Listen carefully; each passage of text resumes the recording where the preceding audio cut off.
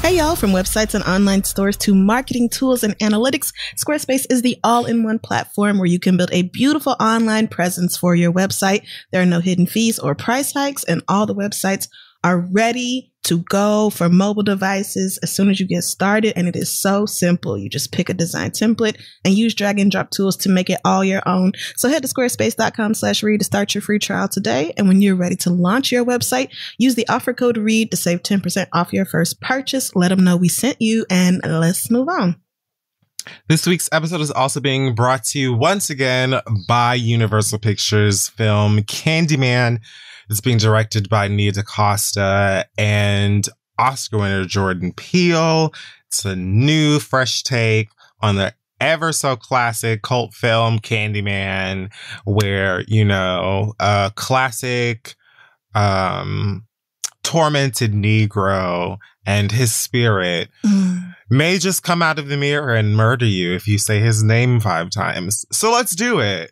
This Friday, you got it. I dare you to say it. Candyman, Candyman, Candyman, Candyman. One more time. Candyman. Nothing. Nothing's. Wait. What's that? You play. Who? Who is that? What? What's that noise? Oh my god! Candyman is in theaters this Friday. Go and check it out. Boo! let's, let's start the show.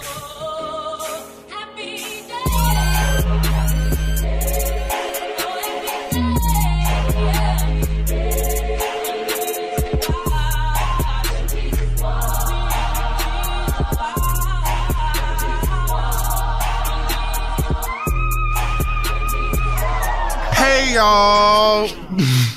All right. mm-hmm. Welcome back to this episode, to this podcast, everyone. I'm Eric and Sinclair. Nerd. And I am Khalees, and this is The Read. Thank you for coming back. It is indeed. And thank you for coming back where our milkshakes bring all of the boys to the yard. Every time. And then we tell them to get the fuck off of it because who the fuck is paying for landscaping? Not you, bitch. So go somewhere. Anyway, this week in Black Excellence, we're going to pass it over to Hansel Emmanuel Donato Dominguez. This young man is a Dominican basketball phenom. Oh, amen. Who has gotten a D1 scholarship to go and play the basketball at an HBCU. This young man unfortunately lost his arm or one of his arms in an accident when he was six years old. Um, it was an accident involving a wall, I believe, that fell on him, and they had to oh, amputate God. his arm. And I think this was around the time he was he was playing basketball. His father, who rescued him two hours later, was at a basketball tournament. I think at the time of the accident. So basketball and the love for it is in the family. Unfortunately, he had this one accident that happened to him that took an arm, but it hasn't stopped him from being a basketball badass. And as I said, he's received a D1 scholarship offer from Tennessee State University. Okay. Amen. And so catch up. Like, can you beat him in the game? Probably not, doll baby. No. Um, sure can. And wouldn't even try. I fun fact, apparently Master P's son has also been recruited by the same school around the same time. So yeah, really? Miller, three star recruit. That's right. Cause that's a one more star than two. Didn't the same Okay. Didn't little Romeo go on a basketball scholarship too? Sure. I don't know where to, but I could have sworn maybe all of his sons did. Right. I'm pretty sure everyone in the Miller family has played basketball. the dogs, the goldfish, everybody. Right, right. Has played. Um, so congratulations, uh, young Dominguez, Mr. Dominguez. Yes. A shout out to the DR and all of the beautiful black people out of that island doing beautiful black things. Speaking of beautiful black people uh, from islands doing beautiful black things, another shout out to one Elaine Thompson Herah, Yeah. second fastest woman ever to compete in the 100 meter dash. I know that's right. Her time at the recent Prefontaine the the Prefontaine classic match. We don't know what it is. It's a thing where people do sports. Okay. Yeah. Oh, you would know. Of course, clearly, you're welcome. And so Elaine and the rest of the Olympian Jamaicans once again swept all the girls from gold down to bronze. Catch up. Whoops, you can't because they're faster than you. And so Elaine um scored a 10.54 in the 100 meters, second only to Flojo's 10.49, which she set back in 1988. And so a magical evening for the black, green, and gold for all of the Jamaicans. Once again, shout out to Elaine for being a fast badass and, and, you know, everyone out of Jamaica. I mean, I just, you know, I think about my family and that island and the magic within, and I say yes and I say thank you. And it makes sense to me. Running from the law, running Okay, from wait, your wait. parents' belt. Um, my mother told me that when she was a kid, the ice cream truck used to come around maybe twice a year. And so if you heard the little ice cream truck bell, you had Oh, to do yeah. what? Run. Bitch, and so it. it's like, yeah, Got you. Okay. exercising your your abilities and your thighs from a young age. And it's magic. And who's gonna beat them? No one. Right. Well, for whatever reason that y'all dominate, I am just so happy. It warms my heart to see black women succeeding in anything. So, yes, shout out to Elaine and all the girls who placed, medaled. I don't know what event this was, so I'm not sure what the prize was. One hundred meters. No, but I mean. I don't know the event. Is what I'm saying. Like I know it's not the Olympics. sickening, I don't. Okay. fast, athletic. All right. Thank you. Thank, You're thank, welcome. Thank you. Appreciate it. hmm So shout out to Elaine and Shelly Ann and Shericka and everybody else who ran their asses off at the at the classic. You're badasses. We see it and we love it. We love it so much. Okay, so this week in our ever um revolving pop culture segment, um Lord help. me. top in the name of love before you break my whole libido over. so that's um Oh the name of my the segment. god. um, Y'all gonna learn not to listen to this around your kids. I don't know why you listen to this. Y'all at all. are gonna learn. It's a terrible show. I don't know why you. So awful. I cannot. So let's start with some things that we left off last week because we spent most of it talking about Lizzo and um, Nicki Minaj's husband. Oh yes, we did. We did did that. Okay. Um, so first up, we have Anderson .Paak, not to be confused with Ivy, um, and a tattoo that he recently uh, got imprinted on his own Negro skin that um, is a warning. Okay. Is a warning for any producers, engineers, and label people that may have their hands on his vocals and masters.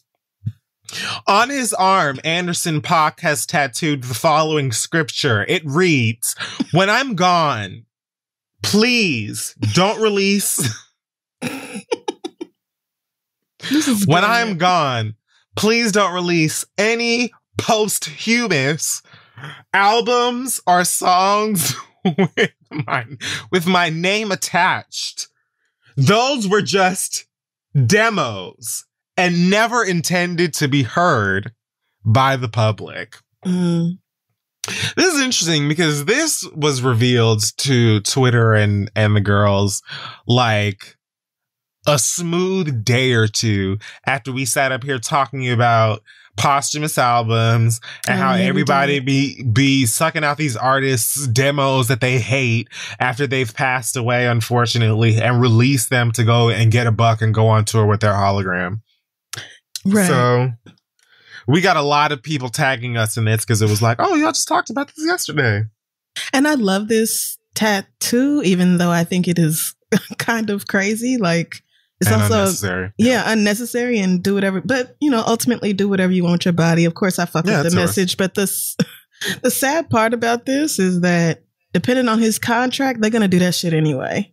Then what are you gonna do about it Depending on your whatever legal status you are in at the time of your death, they may just put that bullshit out anyway, knowing that you don't want it to happen. And guess what? The people who call themselves your fans, a lot of them are going to stream it. yeah Yeah. the way a lot of people are currently streaming Aaliyah's music, even though the bulk of that money, I'm sure, is going into her raggedy ass uncle's pocket so that he can go down to the strip club or whatever. Or It's going into the pockets of somebody who failed Aaliyah at some point during her lifetime. Of that, I am certain. So mm, more than once. it's likely. right, like repeatedly, just consistently. So yeah, a lot of. A lot of people asked why this tattoo couldn't have been present on paper rather than on his skin. Um, that's not festive. that doesn't get the people going. And I mean, I want you guys to know that it is located underneath a tattoo of Animal from the Muppets on the same arm. So Andy does what she wants. maybe adjust your expectations here. Y'all, Yeah. y'all seem like y'all asking for a lot. what do you mean I- contracts? hush, hush all that noise. No shade. When I saw this for the first time, I was like, who's to say that anybody Will will, release an album of your music? Like, are you planning on dying soon? Oh my god. because I mean, for because like usually these types of albums are dedicated for like dead mega legends. Yeah, that's true. And then like people who passed away quite recently, like in their prime. right. And so like when I read this, I was like, oh no, is he okay? Maybe we should leave the door open. just in case. You are fucking stupid. I'm I think he's fine. But that's yeah, no, but that's a that's an excellent point. It's kind of like if it's if this is like uh, I see myself being that kind of legendary artist at the time of my death, then you know, confidence is good for everybody. And It there's is. nothing wrong with having a high self esteem. So Nothing. but yeah, you're right that it's usually like you have to be like an incredibly established, very well known artist or like some young person who died tragically and out of nowhere. Exactly. It's ranging from Whitney Houston Prince to like um Pop oh Smoke. Lord. Yeah, Pop Smoke. What is that young Juice WRLD? You Oh, know, yeah, like the Juice like WRLD. the young kids that like die tragically quite Yeah, young while they're still touring and stuff. right. So when I read this, I was like, oh no, is she all right? But I think Amy it's fine. Winehouse. Yeah. Sorry, I just keep thinking of people where it's like, And even then we fight back. yeah, We I fight mean, back against it. and then people also stream it. Like we are only human, mm. so it is. But you, I enjoy seeing this. This tickled me, so I'm not mad at it. You know, though, that Barry Hankerson has sent an AOL instant message to the people at, at the Whitney Houston hologram. Please, Because I'm sure he's trying to get an Aaliyah hologram No. in Vegas next. oh my god, oh my, of course. Christ. You know it. You know it. And know I will literally cuss y'all out if you go see a bundle of pixels and light and shit talking about it's Aaliyah when you could have just played that CD at home for free. I really right will. there. Like Yeah. y'all need to not don't don't do this. Please. Y'all ain't got big sisters? Don't start Nobody could borrow the CD that. or like, can y'all not make CDs no more? I guess not. Maybe niggas don't have CD burners no more. They used to come on like every computer, but I think if you still got the CD or if you had somebody that got the CD, you can still put it in a, di- in a drive. or even and, like and- just a playlist. Like you could paying for a hologram of a woman who has been dead for like 20 years is crazy. And y'all Yeah, really saw- should stop. I just don't want y'all to stream that shit at all, no shade, because I I don't like Barry. I mean, in a, in a perfect world, I would prefer that too, but I see why y'all are at the same time. Yeah, so it's Aaliyah. But yeah, it's like Mama's putting that money into another Aaliyah album, a posthumous please album don't. that will feature Christopher Brown and and Future and and and the baby and and Satan. Oh Christ! Please don't say. Please don't say that. I'm just like, I will die. Yeah, I. I mean, right? Like we are enabling that, and at the same time, well, I, I say we. I mean the the general we. I'm not included in that number, but yeah, it um. It's sad, but most artists have very little control over what happens to their music after they die. Most artists don't even own their music, really. So, T. so you know, but cute tattoo, fun thing to laugh at. Yeah, fun, fun time. Hi, Link. You gonna behave today? She's actually been quite behaved. Good. You know, the doll baby is usually not in the room, guys. Usually I exile her to the outside of the room Um, because when she hears me having conversations with people that aren't her, she decides it's time for destruction. but she is chilling. She is just looking in Yeah, the right now she's just hanging out. and relaxed. Yeah. Napping. Good for her. She's still on my lap. She hasn't farted yet. Okay. You know what? We'll what? see how that goes. Knock on wood. Amen. Proud of you, Link. So another one that from last week that got left off. Nick Cannon for whatever uh, maybe he was from I think there's a new season of Wild Out. I don't know why he was at the Breakfast Club, but Oh, he was down there. And they was talking about the verses and shit like that, and Mariah Carey doing the verses. And he said that the only person that could go against Mariah in a verses is R. Kelly. What? No, he didn't. Shut up. there is no way he said that. Nicholas Cannon You, he did. I'm googling it because you are bullshitting went on me. Power 105. He did not. And he said the only person in this day and age that could have gone against Mariah Carey because she writes all of her songs. She actually produces all her songs. She puts the songs together and performs at a performs them at a high level is R. Kelly. He said nobody could versus Miss Mama besides R. Kelly because she writes her writes and produces her own songs. What? Each of the niggas in the room were like, wow, really? This is what we're doing here? And we're Oh talking about the Breakfast Club. So, Nicholas, what? no. What? And he knew too, because they were even like, what? That would never happen. First of all, Mama's in jail. I'm, I'm looking at it and I cannot believe this is real. Holy God. Secondly, why would you ever put the. But you know, our Nick Cannon is fully in his turban ass cotet. Um, you know, let destructive niggas be destructive. Tease, I guess. That's what I've gathered from him over the past however long. And it's all right, whatever. I'm letting y'all do whatever the fuck you want at this point because I hate y'all. But I'm can really- Mariah just Mariah? like, Like, God I'm struggling with this.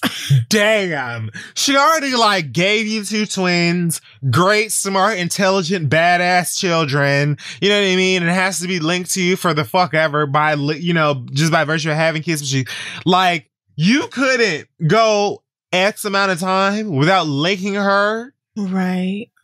To a sex, fucking Kelly. a, a human trafficking, sex abusing rapist ass free. Talking about, oh yeah, I know it would not happen because of his choice of personal endeavors and shit like that. I'll, I'm here to tell you, I'm here to tell you, Nicholas, there's possibly one person, one person Mm. that would have been an acceptable versus for Mariah Carey. Mariah, no middle name Carey. And that is Whitney Houston. That's it. That's it, and we're done. That's it, and we are finished. And unfortunately, that cannot happen because I'm sure, you know, the Whitney Houston hologram is booked and busy in Vegas for whatever Oh for the God, foreseeable please. future. So she couldn't sh- pull up to, you know, Madison Square Garden or wherever it would have been at. But more than that, Mariah's not doing this because she's Mariah Carey. Right. Which is what is. True. I'd be surprised if she here. watches. Right. I, I mean, frankly, so would I. But I think what bothers me the most about this is the idea that R. Kelly's level of talent is on the same level as Mariah Carey's. Like, that is actually a crazy statement to make to me. Like, R. Kelly is not a legend. No, I'm sorry, he isn't. He made some good songs, don't get me wrong. He made some shit that we really enjoyed back in the 90s, but I would not put his level of talent nowhere close to Mariah Carey's. I just can't even like I it's difficult for me to fathom niggas really believe in that. I mean, I know people will argue with you about. I mean, I'm sure they will, but I don't that is firmly my opinion. a legend or whatever. Yeah, this, I mean, no, I vocally, just- are you joking me? that's what I'm saying. I'm just like, in terms of like, like No. vocal ability, writing ability, reading ability, No. producing ability, all of these things. I'm just No. like, but but then even aside from that, the verses is not about it's it's not a, a songwriting thing. It's not a it's it's about catalog. It's about when the song comes on, what is the reaction it gets from us, the listener, we, the viewer, us, the concert go, the ticket purchase. You know what I mean? Right. That's what it's about. It's not about songwriting. It's about when you hit play, what's the vibe? right. Except for that And time it was a, a versus between songwriters. Except for that time. But Yeah, but Other- we didn't give but it's about that. usually oh I loved it. What? The Johntá and Ne-Yo one, it was so fun. But oh, I was thinking about the usually- dream and and, Oh, and Sugar. Now see, I didn't even I forgot John and the other one did. I see now, and I forgot about the dream one. There. But the point remains like it is usually between artists and the songs themselves, like the overall bodies of work. And I just do not see of all the names you could have said, I would have accepted Stevie Wonder or Prince or Whitney Houston, obviously. Or I mean, it's a short list, but like R. Kelly is not on it at all. Maybe Versus needs a spin-off called like They Could Never. Or I don't know, like something that is just about solo, you know, oh, where you just come in and you have like a night where it's almost like instead of a roast, it's like a night of Mariah where, you know, Missy and the Brad and Mhm. and Timbaland, like all these people who've like worked with her, like Babyface, people like pull up and they just jam, and there is no verses. Oh, I would love Some that. people really can't be properly lined up against anyone else, and That's, that's true. fine. That's true. And Mariah is one of those people. Like, Purr. I, you just. I am sorry. I die every time he says it. I love it. But yeah, there's a there's a handful of musicians where you don't even need to try to pit them against somebody. And I don't know if Nick Cannon asked this unprovoked or if somebody at the Breakfast Club brought this up. But god damn, what a terrible opinion! The fact that I didn't shit. see that at all. Uh uh R. Just Kelly. shit. New details are coming out about that nasty motherfucker every fucking day, girl. Yeah, I see y'all quieted a little bit down when the girl said that he uh uh assaulted a young boy. Oh yeah, you see, they left that shit alone. I heard quick. y'all piping up too much or too loud since then. That's funny. That's interesting. Cause I That's mean, you know how they are. I actually don't even want to Mm. get started on that shit because I don't have to. Stop. But yeah, y'all know how. I don't got nothing for y'all bitches at we this point. that shit. You all you got. Good luck. Mm. Um, next up, we have here one Soulja Boy who is back in the news now Please. um, after claiming in an unsolicited Instagram live announcement that he is the new owner of gaming company Atari, classic gaming Atari. what? Classic gaming company Atari. Yes, yes. Soulja Boy said that after the success, these I'm Uh-uh. doing. You can't. I'm doing air quotes. Not his bootleg. after the success of the Soulja bootleg, motherfucking crackhead ass, alleyway ass video game bullshit that he tried to sell y'all. He says that the, the good folks over at Atari approached him and said, Hey sis, we live. We would love it if you would come over and help bring Atari out from underneath the grave Mhm. and um, you know, do your weird nigga social media thing for us and get Atari popping. Hmm. So, Soulja Boy purchased an Atari hat from Amazon, got on Instagram Live, and proclaimed that he is now the owner of Atari, that they have sold it to him, and that his Soulja game um scam lick uh Copyright con- violations. Those were an issue from the very beginning. that that will soon be sold for approximately 140 million US uh, dollars. What? Now, when I read this initially, I said, here goes this, you know, fucking scatterbrain birdhead ass nigga talking shit and lying on, on in the name of video games once again. Yes, Atari is, you know, a struggling brand that hasn't done much in the past, I don't know how many decades, besides a couple of like, I think published indie games that they've done. And like, I think they've done some emulator shit, which is probably why Soulja Boy caught their attention in the first place. However, I knew from the moment that this nigga talked about owning Atari that he was lying, likely on three and a half beans, hot, like drunk on Casamigos, Casa Cardi, Casa, Casa Hennessy, Casa Culture, the whole, like, drunk, high, dumb, and everything in motherfucking between talking about some he owned Atari. So, of course, the good white folk over at Atari were like, we don't know what the fuck this nigga is talking about. Ever so promptly, they took to their motherfucking Twitter account and said, um, you know, something to the effects of, let me see if I can find the exact tweet. Like, uh, we know that being the CEO of Atari is like a dream job. Here it goes. Is it? We know that CEO of Atari is a dream job, Hmm. but that honor belongs to Wade Rosen, who I had to Google and make sure is not the white man that has continuously accused Michael Jackson of rape, but instead someone else. Oh wow. Okay. So this person is in fact not Soulja Boy. Um and Surprise. so because of Soulja's claims, Atari and their official account on Twitter had to come forward and say, no, still white owned. Sorry that you thought otherwise. um, we don't know what the fuck this nigga is talking about. So that made Soulja Boy particularly pissed. So he logged back onto Instagram live where he told Atari to promptly eat a penis and then uh, posted a screenshot of his contract, which is not a contract, with Atari, Wait. What? And then told them, it. fuck this contract, don't call me no more, don't attach my name to your name.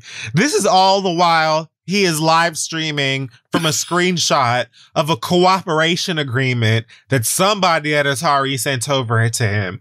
Now, a cooperation agreement and a contract are two very different things. They're very distinct different things that take different they take place at different times in a deal being made with someone else. And if you look at the what the fuck this nigga posted and have any common sense or just the ability to use Google, you will quickly learn that this is not anything about, this is not an offering of ownership of the company Atari, but rather the exchange of Atari Bitcoin or cryptocurrency Oh my god. for Soulja Boy's participation in Atari marketing. They were offering this nigga Dogecoin in exchange for him saying Atari is the shit. And he wanted you to believe that they offered him ownership of Atari in exchange for him and his weird ass hair that looks like bugles and all of his random ass garbage ass takes on whatever the fuck his dumb ass is talking about. And I have promptly asked for y'all to stop believing that this nigga has any stake in gaming or anything uh, thus far. And many of you Hotep dumbass straight motherfuckers who listen to this podcast by way of your girlfriend who's listening to the podcast in the other room told me to shut the fuck up and stop hating on niggas who are trying to start a, a, a black owned company and shit like that. Meanwhile, he charging you bitches $300 for a shanky, janky, raggedy ass, ashy ass emulator that you could have easily paid $30 for from someone in China by way of Amazon.com. But have at it. Have at it. Mm. Have at it. Spend your PPP loan ass money on a Soulja game when you could easily got one of these raggedy ass shits that's basically just half of an Android phone and a trip to Tulum, but you want to tell me what the fuck to say. I'm trying to help your stupid ass, but you want to listen to me. Anyway, Soulja, you don't own Atari. You don't own Soulja any motherfucking thing, bitch. And honestly, you need an evaluation. And I haven't forgot what Nia Riley said about you beating the baby out of her, but don't nobody give a fuck about that because you're straight and you're a nigga and people find you funny and that's all that it takes. Yikes. The only way You're an idiot. The only way this makes sense is if the marketing agreement is so I'm gonna get on Instagram live and lie and say that y'all sold Atari to me, and then y'all gonna get on Twitter and be like, no, we didn't, and then Clearly that wasn't. Like, but like that's the only way this could possibly make any fucking sense. Because like nigga, there's just no you. How did you really believe that you were purchasing Atari when Likely what happened was Atari said, Hey, Soulja, we're in talks with the good girls over at Zeus Network Oh, to do some some do some ad campaigns between episodes of Joseline Cabaret and whatever the fuck Ray J is talking about. So if you would kindly come on to the Zeus Network and tell the girls to download the latest Atari app, we will give you 50 cents worth of Atari tokens a month. And this bitch tried to translate that into your fucking stupid asses as I own Atari now. And when they promptly told your dumbasses that that was a lie, he tried to cuss them out and tell you that he was, that they wrong and show you a screenshot of, of a co-op agreement as if that's a, co- a contract. All of you bitches are stupid. Fuck you. Isn't Dogecoin worth like 32 cents? It's not even Dogecoin. It's Atari coin, which is likely worth Wow. just as less. much. You could likely take a Chuck E. Cheese token down to the bank and get just about as much. oh my god, it really is Atari token. Okay, I am logging the fuck out of this. You cannot be Dumbass lying ass bitch. Trying to talk to me about video games like I should be nice to this bitch. Not even Meanwhile, I'm trying to help your motherfucking Oh stupid ass God. You could actually buy a true console that will actually work. And even if something does happen to it, you will have a team of people that will fix it for you gratis. But you would rather listen to this dumb, stupid ass nigga and give him all of your hard earned maybe money. For some shit that you could easily get off of motherfucking dailymotion.com, you stupid bitch. Wow. Have at it. Okay. Everybody Next have fun. This is crazy. rumor has it that there might be trouble in paradise for one uh JT and Lil Uzi Vert, Oh, good. aka Steven Uzi Verse, because apparently the girls went onto their profiles and discovered that they stopped following each other. That's right. As of earlier last la- late last week, earlier this week, the girls had it that JT was no longer following Little Uzi of Vert, and that Little Uzi of House Vert was no longer following Jatavia, and that this must mean that there is trouble in ghetto paradise. Living man our life, living in gangsters paradise. And so they A little choreography to go with it. And so I read this and I was like, oh, finally, my bitch is free. And then I went to go and do some like research and I see that as of the time of recording, Jatavia is still following um Uzi. uh, well, So I guess she followed him back. was this Of the report that I Instagram, read, or- yes, this Okay. is on Instagram. of the report that I read at the time of reporting, Uzi was only following JT, JT alone. Whereas now on the Little Uzi Vert Instagram, he follows absolutely nobody. Oh no, that's worse. Feeling his wildest Beyonce, I guess.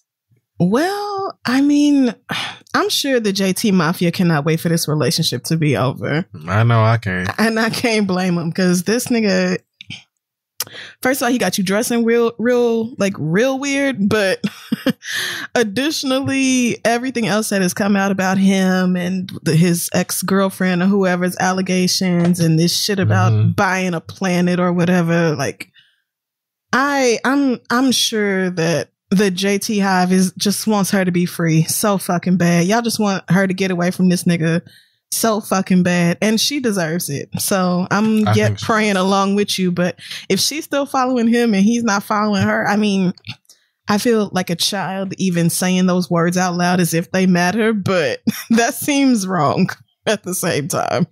I mean, it lines up. Honestly, I don't know how much longer y'all are gonna elevate these niggas that clearly don't give a fuck about y'all culture, community, advancement, preservation, any of the protection, mm-hmm. any of these motherfucking things. These don't give a fuck about you, but you lift them up all the live long day because their songs are catchy, they're cute, whatever you like, everything about them, they cool and shit like that. And what's more is that holding niggas, especially if influential niggas, accountable for their fuck shit, like possibly assaulting their ex and putting them in the hospital, like it really requires no kind of input from y'all. Like you don't give a fuck about any of that. It is what it is, and so have Yeah. at it. I really hope that all of these girls lead you into the promised land. I just know that they won't. So. But as far as JC is concerned, like that's the doll. I, you know, she a Miami bitch. I feel like regard, regardless of what's going on in her relationship, she should have the ability to pick herself up off of her own Mhm. too. And I can't wait for this to be over because it will eventually be over. And you know, you can, you know, be a bad bitch on your own right or in your own right. But- yeah. Like I said, since I went to her page, I see she's still following. I was like, you know, it sounds like, you know, us, us, and well, not me. Cause I've, I've outgrown that stage of my life, Nigga, and I praise like, God follow for your that. stupid ass in the in first, the first motherfucking place. I'm not gonna follow you in the first place. I've learned my lesson about that Fuck shit. about here. right, but yeah, I just would love better for her than this situation. And you can tongue kiss my gooch if you have anything to say about, oh my goodness, the read and straight niggas and whatever the fuck. These niggas don't care about you or us or any the fuck body else. It's fine that you love their songs. They create bops. It is what it is. You find them stylish. You want their shoes. You want their watch. You want whatever the fuck. I don't give a fuck. I don't care. They don't give a fuck about you. Don't give a fuck. They damn sure don't give a fuck about me. And they don't give a fuck about any of the women, whether they're attached to us, you, your mama, whoever the fuck. So I can say, what, have your fun. Do whatever the fuck you want to. Cause I really am not expecting anybody to act like they got any sense. I'm here for a, sh- uh, a short time and not a lunch, a brunch time. I'm here for a brunch time. yeah, that's it. and not a lunch time. that's in the Bible. Okay, it is Old Testament, New Testament. It is the only scripture in the Old Testament that got rebooted for the new. No, the you don't hear. No one talks about that. no one talks about that. And so, like, I really don't have it. Have a good time. Let everyone lead you Oh directly where they're gonna lead you, because all they're gonna lead you into some more niggas that lie, some more niggas that put hands on you, some more motherfuckers that abuse you, some more motherfuckers that are toxic as shit. The more motherfuckers that feel like because they deep throat you down to the balls, is you should pay for their motherfucking bills and have Oh. nothing to motherfucking like all you motherfuckers. Good luck, because I don't care. I'm just trying to retire my my parents. You know what I'm Mhm. saying? Like, give my family everything that they need. Nephews, nieces, great, whatever the fuck, put them through college and things like that. Spoil them rotten and all that shit. And everybody else, you got it. Yeah. Between between fuckery like this and COVID, and it's me. know, you know, knowing young I'm sorry. people- That was I mean, you you had a lot to say, but it was on your spirit, and I'm glad you let it out. but knowing young people, she probably gonna unfollow him, follow him again, and then unfollow him probably before this show even come out.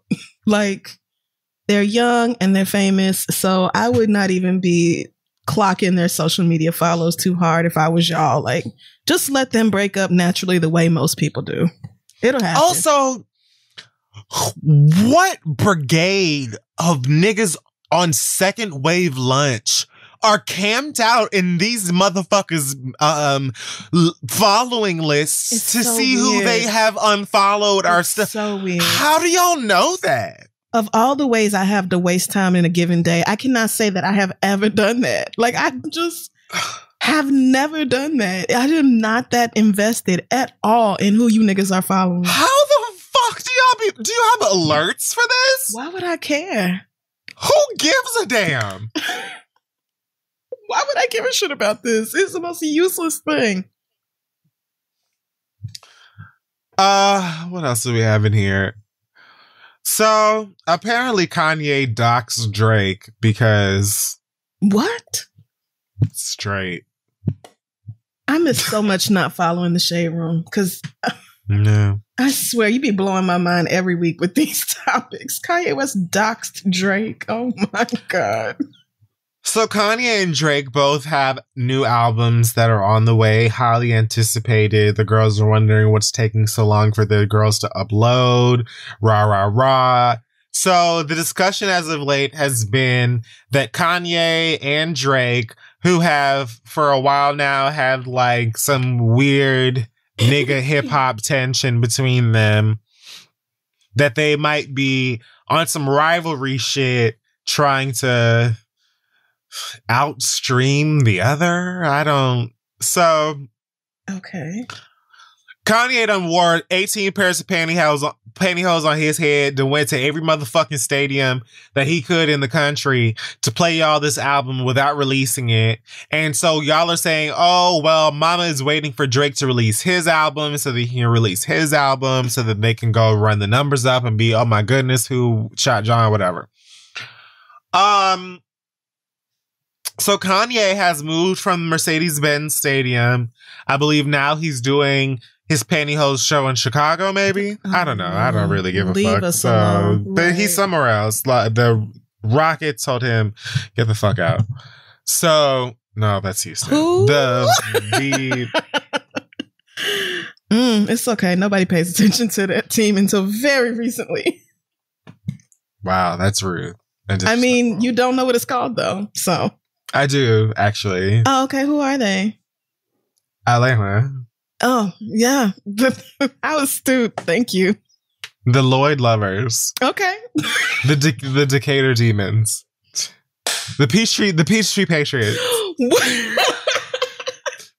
Whatever you say. The Atlanta, the Atlanta Aviators, the ATLians, the ATLians. there you go. That's what their basketball You got called. it. Thank you. Everyone knows it. Everyone knows that. Obviously, you know, you were just joking. Clearly, Duh. Obviously, I'm not. you don't like, don't don't go type. it. Don't go type. I'm not typing anything. I saw the screen light up. it is sorry. I was looking at the weather for tomorrow, No, so I know what to do about my planning for tomorrow's errands. okay. So the Atlanta Hawks is the team in Atlanta because I know that because I know sports. You do. And yeah, the girls were like, please leave. And so apparently Kanye did. And after Kanye released, I mean, after Drake released a little shady a line or two on the latest Trippie Redd album Mm. on a song called Betrayal, um, Drake says, All these fools I'm beefing that I barely know. 45 44. Let it go. Yay ain't changing shit for me. It's set in stone. This is apparently Aubrey's way of saying I'll release my album when I want to. Okay. And Kanye has nothing to do with that. Kanye apparently felt way about this and screenshotted Why? his good music children. And then he um, posted a screenshot of his iMessage where he said uh, the following Kanye said in his in his tweets uh, with a uh, a photograph of Joaquin Phoenix's Joker. He said after adding Pusha T to the conversation of an eight person a group chat. I live for this. I've been fucked with by nerd ass jock niggas like you my whole life. You will never recover. I promise. I have to assume that Drake is probably in this group chat. Um, Oh, that would make more sense. it would make more sense because I don't know why else. But I mean, Kanye also not historically making decisions that make sense to the rest of us. So, Anything else to do, guys? like, any world problems you want to solve real quick? Anybody whose life you want to change? Well, alongside the shady uh, group chat, Kanye also tweet slash deleted, post slash deleted, um, a shot of Drake's mansion in Toronto alongside the address and the location of it on uh, Google Maps. Um, to which Drake then posted a photograph of his light skinned laughter while riding around Toronto, uh, apparently unbothered. this is just so real housewives of y'all. what? and y'all act If- like women keep so up mess. right. And y'all You're act like so right. y'all act like women are dramatic and stupid and over the top and doing like t- screenshotting her house on Google Maps and then her responding with a laughing Instagram. Like this is so real housewives of y'all. Petty and dramatic and ridiculous. And for what? for what? What does this even come from? Because Drake said his pool is bigger than Kanye's. Because he said his album rollout don't have nothing to do with Kanye. Like what? What is really at the root of this? Because it can't be something that matters. I farted. Oh, what? So okay, I just it might be on record I doubt because. I don't care. I mean, I really, I doubt anybody would Just have in known case, had you because not I said didn't, that. I didn't attempt to hide it this time. Just so, in case you care and or want to know how I feel about the current state. I of affairs cannot believe discussion. your fart. I chose this moment to fart. Okay, thank you. So we're back, and I don't. This is just so rich and so unimportant. Yep. In case you didn't know, this might, you know, reach back to, uh, you know, this Kanye Drake feud that apparently has a lot of roots, reaching back to a moment that uh started with his beef with Pusha T, where Pusha T was like, "Hey guys, Drake has a baby. He's not telling y'all about, and he has a deal for the baby coming out with Adidas." And then Drake was like, "Oh my goodness, only reason he knows about this is because of, of Kanye, because I showed Kanye pictures of the baby and told him about it and stuff like that." And Kanye was like, "Oh my god, I don't know what he's talking about. He is tripping. You know how light niggas be." Like, And then so now here we are. this is uh, Andy could not have written this better. Oh my god, Andy having like a one on one with them would actually be severe, Incredible. entertaining. It would. I would absolutely watch it. I'm so sorry to say. I and I would still spit at. Andy Cohen's feet if I see him in public because he's trash. Oh, He's what- trash. He's what a terrible person. Oh, damn! What would he do? Other than you know everything on Existed, Bravo. Okay. Monique, Bravo, yeah, yeah, yeah. Right. Okay. Okay. Yeah. And I recently saw a clip, and by recently I mean last night, saw a clip of that Potomac reunion that I didn't watch because I haven't watched it, where he told Monique, "Oh, like." Isn't you not being on the show anymore going to affect your marriage because of the check? As if to say, like, her not get, like, her compromised Bravo check was going to, like, fuck up her marriage because the Right. dog was going to be upset. And she quickly was like, child, that little bitty check ain't gonna do nothing in Uh, comparison to what my husband was bringing in. And Andy was like, oh, but he's not bringing in that money anymore, right? He used to be. And Monique had to check him like, no, my husband is fine. His investments are fine. I was gonna say, Mess. mind your business. What? You're really pressed that this black Oh, girl came in and was ready to whoop ass and wasn't ready to suck your stupid Caucasian dick or Bravo's fucking dick and balls to keep this motherfucking job because she's fine. And so you tried to play her on some, oh, well, the check, like, isn't it gonna fuck up your marriage? Anybody nobody pressed about your whack ass marriage. Bitch. Andy, that fucking bouffant bitch, your Blanche Devereaux looking weak ass bitch. Oh goddamn. But like, because do you, a daddy now, you can say whatever the fuck you want to. Keep it moving, bitch. Do you think, Anybody press? You can get your ass dragged too, ho. Soft ass bitch. okay, you doing you all saying? this? This I'm finished. literally just reminded me of when um. Oh my God. Now his name is completely escaping me, but he was on Watch What Happens Live and Andy was real inappropriate with him and he had to get him Titus. together right. Yes. When Titus was on Watch, this is reminding me. D of show girl. Yeah. Yeah, like uh, girl, this here, stop that. Worry about you. But does Andy This is not where that happens. Yeah. Does he think niggas haven't heard of passive income? Does he think niggas don't know nothing about invest? All these years with working with Atlanta and you don't understand that like See, black people do know how to do things with money, especially when they have a lot of it.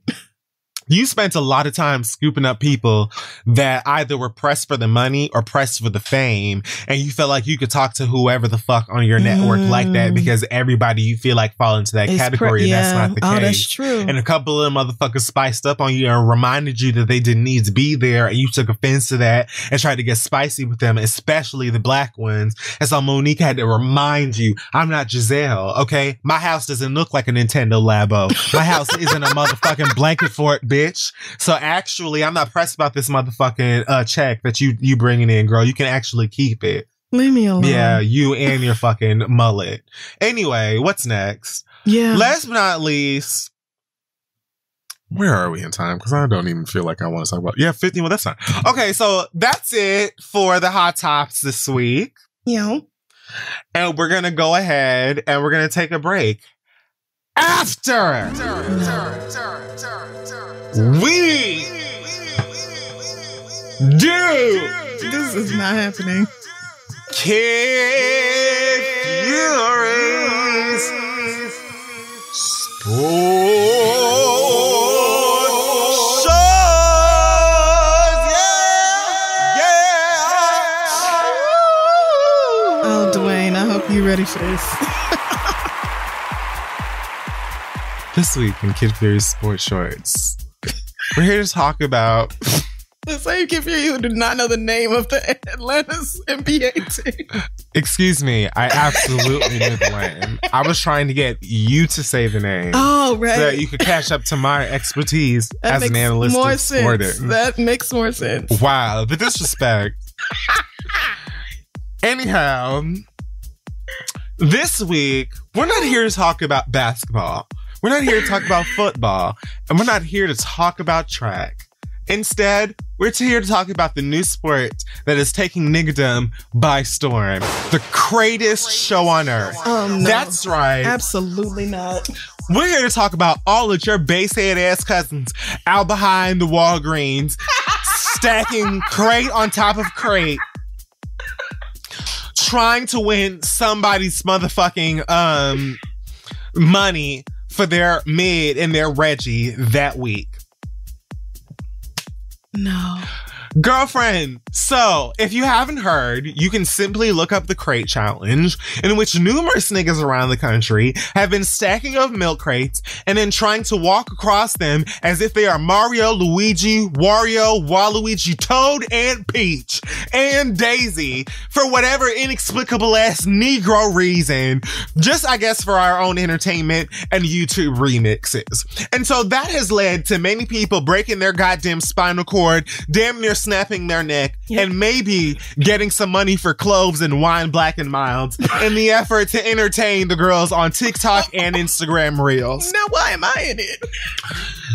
So, I want to particularly shout out everyone who's made an effort. There have been plenty of people across the South, Midwest, West Coast, and uh, certain parts of Boston and New Jersey and Queens that have been climbing on these crates and snapping their vertebrae from side to side in an effort to make your your um bored, bored asses laugh and send texts. Mm-hmm. We want to send in a, a special shout out to one T. TC is an, an average black American round the way girl, possibly from Cleveland, Ohio, who effortlessly climbed the Negro crag from side to side and was able to collect money from all of her ghetto suitors and take it home.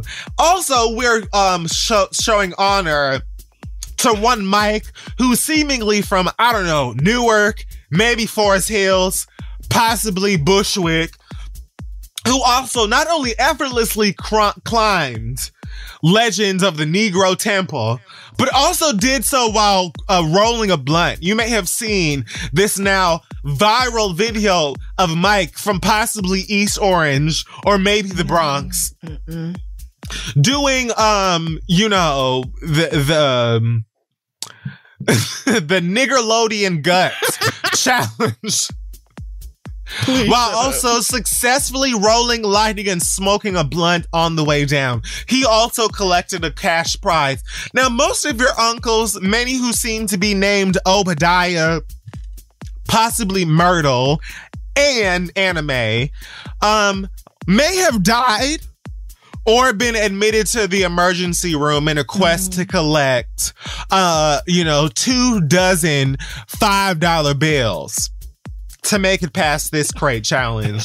and I simply want to know why. I haven't received an answer, but that's not what sports shorts it's about. It's about talking about the athleticism, the nerve, the uniqueness, charisma, and talent that it takes to to to make it past this the challenges such as this and the sportsmanship within. I want to know why the fuck y'all are doing this. I want to know why the fuck y'all are doing this on cement. I want to know what kind of boredom it takes for you motherfuckers to say, "Hey, let's bum rush the closest CVS." The nearest Kroger or Publix and take their crates from them to simply climb on it for the amusement of Instagram Reels. No one has yet answered me. And I'm concerned. But here we are reporting live from your events, wishing you all the well. I just imagine, I ha- I can't help but imagine what it must be like to be a doctor, to be a nurse, to be anyone working in the medical field. Cannot fathom struggling to get niggas breathing on a day to day basis, struggling without resources to keep you ungrateful hoes alive. In the face of the Delta Sigma Theta variant, the Kappas, the Kappa variant of COVID simply shimmying down your fucking esophagus and infecting your lungs. What they are doing when they do what all of these medical officers, what they are possibly doing after spending 20 to 30 minutes in the storage closet, bawling their eyes out because they don't have enough help and coming out trying to get the next bitch breathing. Meanwhile, here you go, rushing Malikian on a goddamn gurney from his appearance on Wild and Crazy Migos, where he snapped his goddamn spinal cord in two trying to do the goddamn crate challenge. Oh no. What is that about? What's it gonna take? You don't want to get the motherfucking vaccine because of what it might do to your lungs, but you're willing to sacrifice your goddamn spine, rib cage, eh, femur, shin. Oh yeah.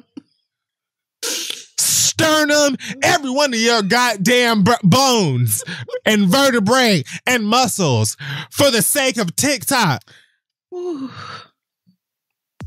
That's it for this week in Kid Fury Sports Shorts. We talk about all things sports and everyone um doing a great job in it. You're welcome. Mm-hmm. Um, I do this for you guys and for um diversity. You're welcome, and we're gonna. You have any? Please, yeah. Okay. Great. I just just would love to take a break right now. we will come right back with your letters. Hey y'all, don't you hate when you run in errands and you got everything you needed, but you forgot maybe one thing at the store and you're already home and you definitely don't feel like going back out? Well, now you can get snacks, drinks, and household essentials in 30 minutes with DoorDash. DoorDash connects you with the restaurants you love right now and right to your door. And now you can get the grocery essentials that you need with DoorDash too. That's right. Get drinks, snacks, and other household items delivered in under an hour. Ordering is easy. You just open the DoorDash app app. Choose what you want from where you want, and then your items are safely left outside your door with the contactless delivery drop off setting. With over 300,000 partners in the US, Puerto Rico, Canada, and Australia, you can support your neighborhood go tos or choose from your favorite national chains like Popeyes. Chipotle, Cheesecake Factory, whatever's available in your area. For a limited time, our listeners can get 25% off and zero delivery fees on their first order of $15 or more. So go ahead and download the DoorDash app today and enter code READ. That's 25% off up to a $10 value and zero delivery fees on your first order when you download the DoorDash app and enter code READ. That's right, code READ for 25% off your first order with DoorDash. Subject to change and terms do apply, but go check them out. And now let's get back to the show. Okay, folks, we are back. And it's time now to read your listener letters.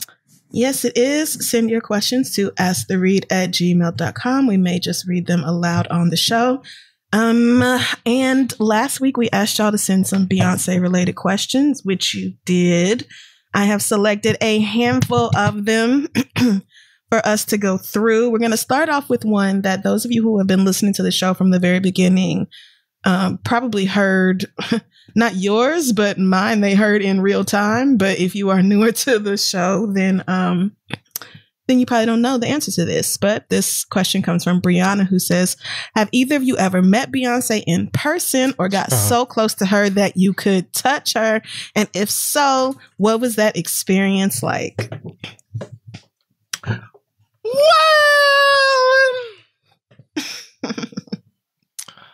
Um okay, so I have two things that come to mind. I've talked about both of them. One was okay, so the very first time that I ever saw Beyonce in person was due to stalking. I did. I made a YouTube video about this once. And oh my god, you did! basically, my friend Mike was like, "Oh my god, he was." We were both in New York City visiting at the time. I didn't live here. And he was like, I just saw Beyonce go into this building. Like, oh my gosh, she looks so cool, blah, blah, blah. I'm like five blocks away. So I basically like bum rushed over to where he was and sat there waiting for Beyonce to possibly come out of this building. And it took about four hours. I guess she was working. Wow.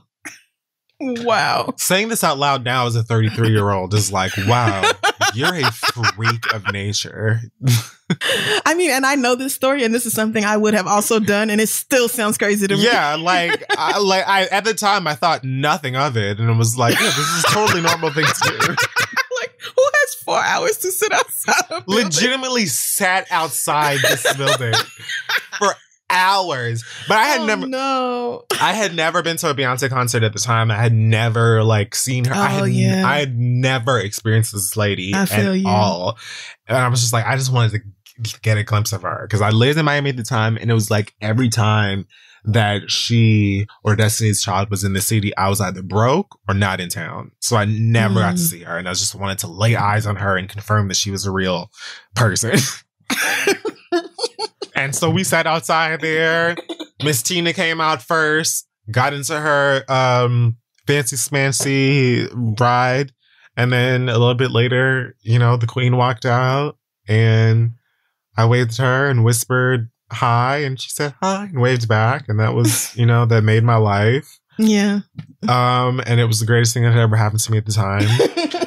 And then i love how these aren't exaggerations. Yeah. And then i saw her at revel which was my first ever beyonce concert. Mm-hmm. and i was blessed by way of friendship to be um admitted to one of the pits on the side of the stage that she had. So i was very close and again, I spoke about this online towards the end of the show. She was performing Halo.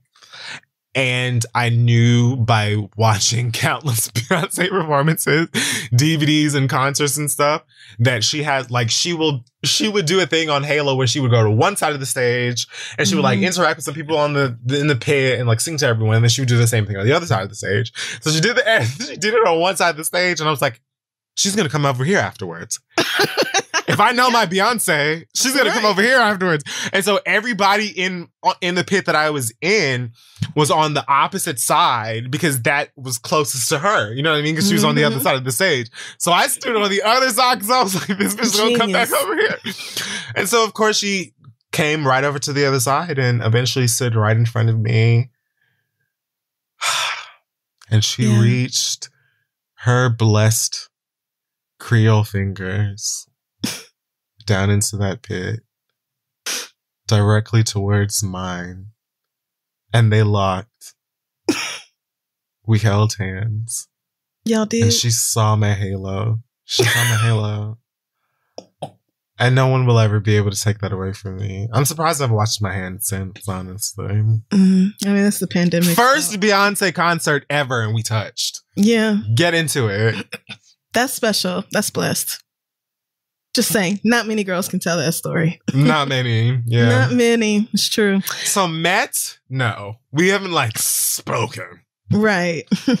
But Right, we've not been introduced. I've- I have gotten a lot. I have touched her. We've Yeah. I've touched her. I've touched Beyonce. Right. I've held her hand. Yeah. I have touched Beyonce in my life. We have touched. Yes. My skin and her skin. has touched her skin. it has. That has happened. Get into it. You're welcome. I've never held her hand, but I was also in the pit um at a Beyonce concert. And honestly, in hindsight, I'm so glad I went. I'm so glad I went, y'all. Woo! Because I can't fathom doing this in a post-COVID world. But yeah. I was in a pit outside in a fucking stadium out in New Jersey all damn day on my feet for 12 hours. And I've never been more joyful in my life. Can't complain. Cause like you spend a trillion dollars to be mm-hmm. there, but it is experiencing Beyonce in a way that I don't care how good your seats are, bitch. It is just nothing like this. You are right fucking there. It just, I cannot even describe to you accurately how incredible it is to watch this I'm ascending. on stage. Like, and she's like six feet away from you. Like she's reaching her hand down and touching everybody, and niggas are screaming and passing out. I'm ascending from the mere conversation. Like every time I think about it, I'm just so glad that I went when I had the chance to because I don't know that I'll ever get the chance to do that again. And it was incredible. Er- It it is just it is the most amazing experience. Like as phenomenal as she is from any seat in the stadium, it is something about being right there on that stage that Bitch, And, like, you no shade. You're just I- right there. No shade. I caught the Lizzo comparison that you made afterwards in terms of like, there's just like a level of commitment to putting on a show with every molecule that you have. That's what I was saying, of- yes. Yeah, yeah, yeah. You know, But not a lot say of. Beyonce's name, niggas be like, eh, Yeah, you know, you get, but wait a minute. But right. yeah, it's just like that's what I want. Like when I'm paying for a ticket to, to go to a show, regardless of where I'm at, that's what I would like, you know. And uh, there've definitely been a lot of shows I've gone to before that don't consist of choreography and big LED screens and all that stuff that are still Right. fantastic. But Oh yeah. man, oh man, that like you right can there. you can see your fave on stage and be right there next to him at SOBs. Like it don't have to be a stadium tour, but being able I've to seen Jasmine sing. countless people, just- countless mostly people. just standing there, and I'm Right. like, how did this happen to me? This blessing. Yeah, I've had many moments like that. Like that is, God, I miss I miss New York before COVID. I really do. But- bitch. A cute little, you know, Oh wherever the way, God, little R and B, little intimate R and B show. just going to see Solange at a fucking laundromat in Brooklyn, bitch, leave me alone. Yeah, Oh, okay. So anyway, amazing show. Caesar performing live at the Soul Food Place. It's like, like, a, a hundred people tops. Yeah, is just we're just here, and this is just what we're gonna. All right. So, um, but yeah, that was my in-person Beyonce experience. It was not specific to me. Half the people in the pit that night or on that tour had the exact same experience, but you know, they also got to see what I saw that I evening. can't believe I touched that lady. I can't believe I was on my feet. And I was like in my 30s. I was probably like 34, 35 when I did this. So I was like on my feet all day, the majority of the fucking day, and I could not have been happier. And I then don't went think and about spent another enough. few hundred dollars on merch too and bought all the fucking merch, girl. I don't think about it enough. That boycott Beyonce t shirt, I bought it so I still have that. I got so irked by so many people that I would wear that shirt out and they'd be like, Boycott Beyonce. I'd be like, bitch, this is Calm from her show. When a white woman on the Upper West Side came at me about it with her daughter, I was like, right. Imagine me, a clear black fag, wearing a boycott Like-. I'm a black woman. How are you asking me something about Beyonce right now? Bitch, are you serious?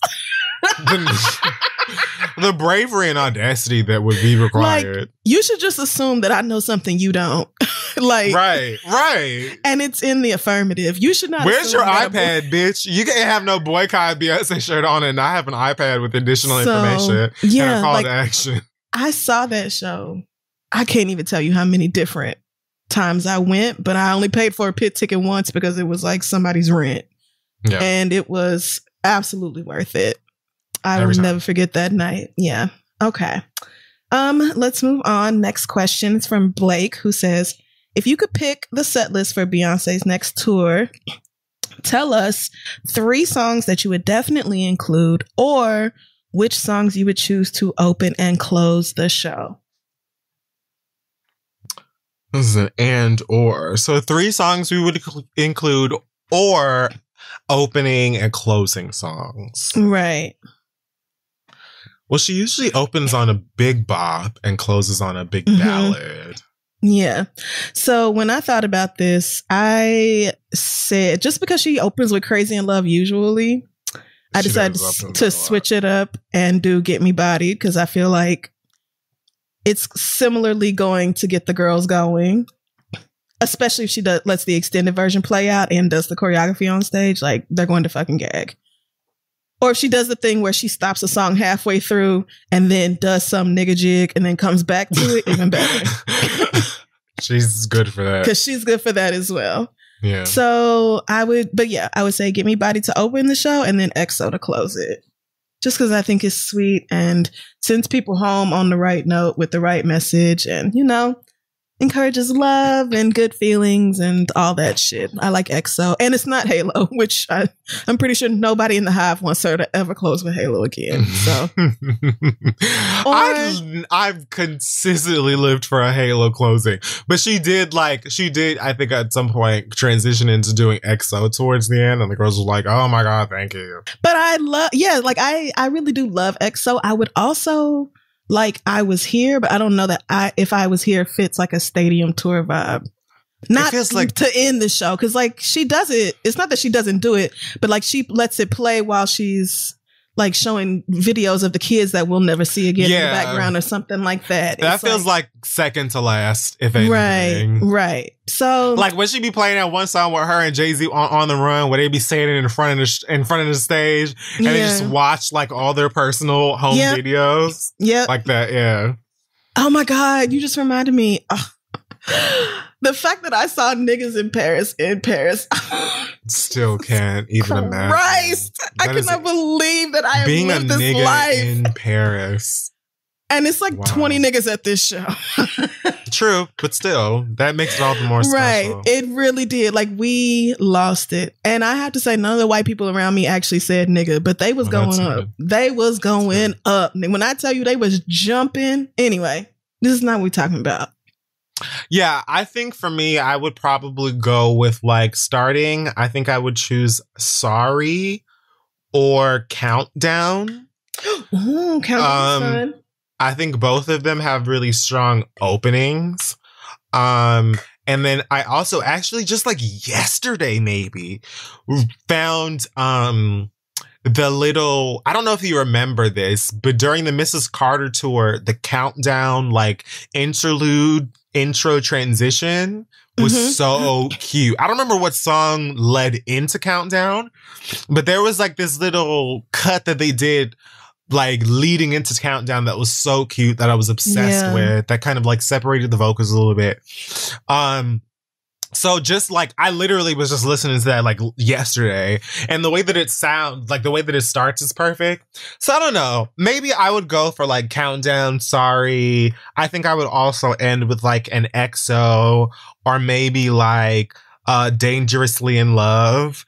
Um, and then for a third, I would go for something that she doesn't perform very often, like Green Light um, nothing out there for me with Missy Elliott.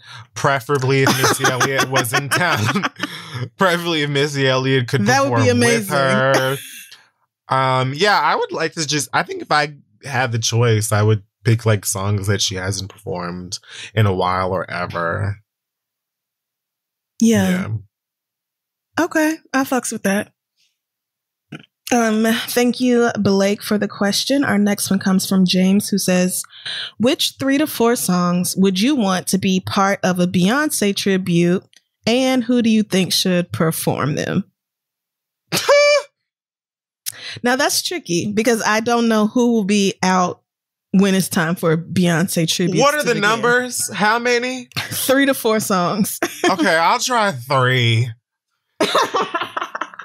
Um, so I, um, I had a little time to think about this earlier, so I can go first if you want me to. Yeah, go for it. I feel like we're probably going to name some of the same girls, though. Okay. So I have, y'all are going to argue. Y'all are not going to agree, and that's fine. I'm just letting you know that now. You asked us. So, first of all, I want to hear Other Side. Oh, cute. And I would like it. Of the girls I know now who are out now, I would like to hear that by either her or Jhené Aiko. Love it. Love it. Either one of them would sound really pretty on that. I would I'm also not mad. like to see Love on Top performed by Fantasia May. Bitch! Curate! you need somebody with a real voice. Bitch, can you imagine Fantasia but Word. Yeah, that's what I'm saying. I, I I need it because Fantasia will give that song the energy it deserves. Bitch, she's kicking her shoes off. They're the coming the first. fuck off. Go you don't on. even need Tasia to do a bunch of choreography. You can have girls in the background for that. Just have her sing the fucking song. Wow. Um, I want to see Crazy in Love, of course. And I feel like who better but Chloe and Halle? Cute. like the proteges, I can absolutely see Chloe completely recreating everything about the look, the vocal, the all of it. And um and then I would round it out with I care and honestly the only voice I want to hear is Brandy's. This is sickening. I really don't know that I can top this. That was a good lineup. Don't you want to hear really Brandy good. sing "I Care"? Don't you? Want I Brandy would love so to hear bad. Brandy sing "I Care." Another song where I'm like, you. I mean, you have to be a vocalist. You have to be able to sing to sing "I Care." It's probably one of yeah. Beyonce's most technically difficult songs. I mean, the bitch probably. imitates the fucking guitar, and so I'm just like, yeah, it's so. This is it's really narrowing down the options here, but Brandy, I think, could absolutely kill it. So yeah. those are my choices of, you know, what I know now as far as music and girls. Wow. You slayed me. Oh, okay. Let you me know, see. I was ready for you to be like, you're wrong. no, I thought that was fantastic. Like all of those choices are really good. Oh, yay. Um, okay. Well, I definitely did think Chloe and Halle. Mm-hmm. Um, I thought Chloe and Halle, I would have I would have loved for Chloe and Halle to do Kitty Cat. oh yes. I would mm, love- Oh, that definitely works. I love Chloe and Halle to do Kitty Cat. I would probably want for Miss Normani to do either Baby Boy or Crazy in Love. Yes. I would mm, probably yes. I think I would look to uh Hmm. Normani on Crazy in Love sounds really good, actually. It, I think so. But she could also kill Baby Boy, especially if if she's like rolling, like we've seen her roll around. That's what I'm saying. Really doing it, yeah. That's what I am see saying. It. No, I see it. Mm, yeah. Okay, that's a good one. Um, and then I think I would go. Hmm. I know the song, but I'm like between two different artists. Okay. I think, you know what? I would go End of Time. End of Time, Kelly Rowland. what? I can do that. Ain't nobody tell me I can't do that. Oh my god. I would go Kelly Rowland for End of Time. That's probably what that probably would be the last song. Um, but then I think I would also throw in No, from. Lemonade. No, I love that. From Lemonade, I, didn't would think want about Kelly. I did not even consider it. down to the ground. Wow. Um, I think for I would either want um Hold Up performed by uh Tiwa Savage or Jackie, or I would want Lemonade um Don't Hurt Yourself performed by either her or Kelis. Okay, now Kelis on Don't Hurt Yourself. That that's a visceral reaction I'm having to that whole idea. Nigga, Yeah. I need to I actually need to see that. Yeah. Oh yeah. Kelis is very happen. busy farming, you know, Yeah, growing no, she's not- radishes. It's not happening, but you know, these are dreams we're having out yeah, loud. we're making things up. You know, if I if I had my way, Yeah. yes. But oh my god, no, don't hurt yourself. It's so perfect for Kelis. Are you kidding? Wow. No. Come on. Nah, my mind Or is like a, or like a. or like we pull Fefe Dobson out of the crate. okay, that's fun. Mhm. Now Fefe Dobson might actually show up. Even better. yeah, she might. Kelis gonna be like, I'm sorry, I have peppers. Like, ooh, you know, unfortunately, I love Kelis's farming post. It will be time to harvest the quinoa in six weeks, Yeah. and I can't be away from it during this critical point of development. Yeah. And so I can't. So sorry. Good luck with your show. Who is Mhm. going to get these peas? I, it, it, they need me. Exactly. I'm their mom, so Thanks. respect that. Yeah. Huh. Okay. Our next question comes from Nicole, who says, "What is your favorite song on each of Beyonce's solo albums?" Yep. So I, yep, I went back to Dangerously in Love. I studied the track listing like it was an exam. Um, and I came away with me, myself, and I. This is not gonna be that hard for me. Yeah, it actually did not get super hard until she started managing her own career, and then Lemonade. I, I mean, just saying, and then Lemonade. I really struggled. Like it took me an hour. Okay. So, for me, Dangerously in Love, the song is speechless. It would be. I mean, it would be. B Day. Oh Lord, I got the hiccups. B Day. The song is probably. It's got to be a tie Okay. between gr- Green. Oh my hiccups. Between Green Green Light. Green light. and Freakum Dress for me.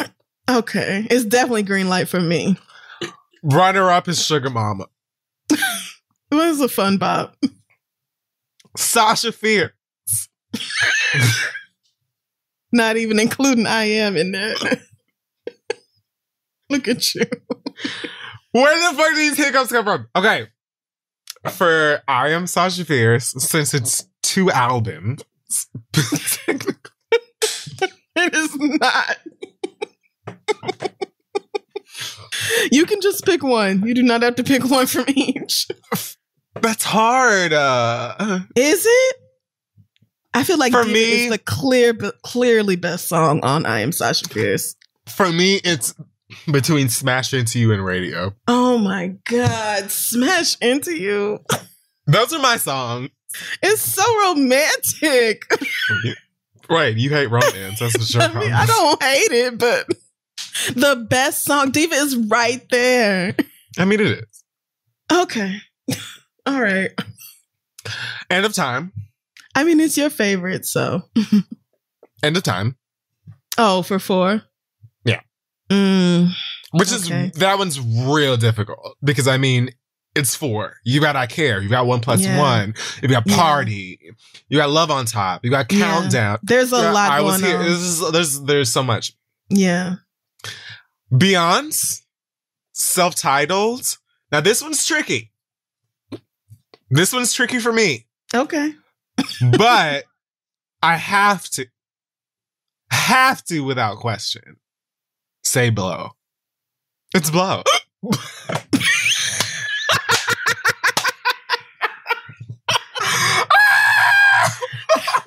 Your hiccups are the best part about this. They are like a t- I can't.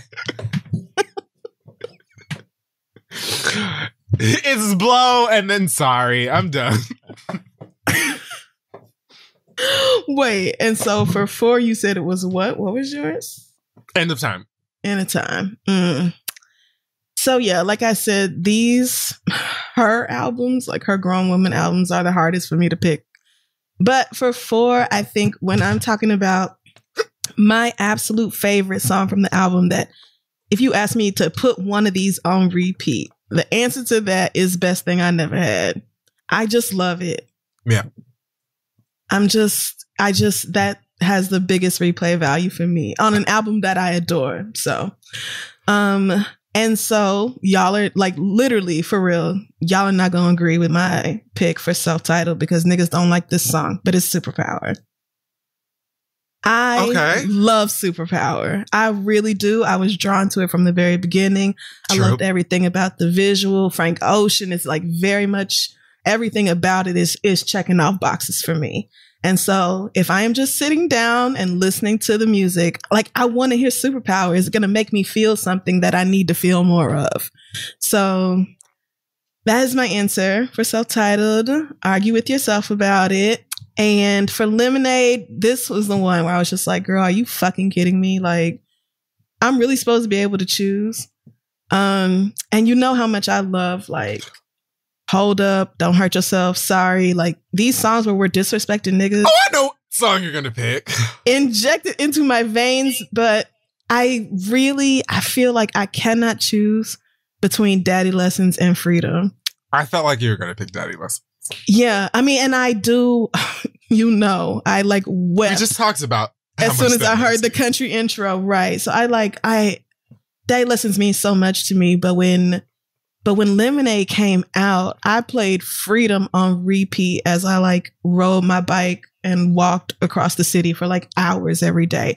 It was just something about that song that I instantly felt so connected to. So That just made me That's want to pick why- up water. it's very, you know, ruining your fucking stage and you're welcome. But yeah, so it's pretty impossible for me to choose between those two. But otherwise, especially the first three, that was like, I just, you know, it's just a matter of. I like songs where we're telling these niggas to go to hell and we're choosing ourselves Fair enough. and we're talking about how great we are. So yeah, I end up drawn to that. Yeah.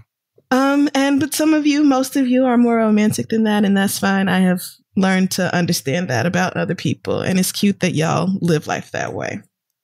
Oh wow.